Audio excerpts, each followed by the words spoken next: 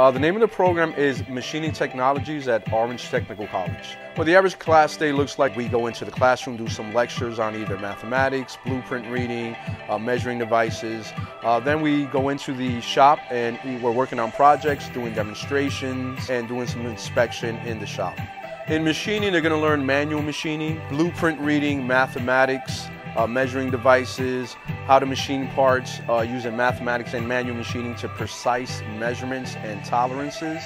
And also we touch on career development. Certifications and careers they can get into. They get the CSWA SolidWorks Associates, uh, which is a very uh, valued certification in industry. And the careers they can get in, it varies from aerospace to the medical field to the Department of Defense, art, jewelry, automotive, so they can get into many fields. It's a wide, vast uh, field in machining that students can get into.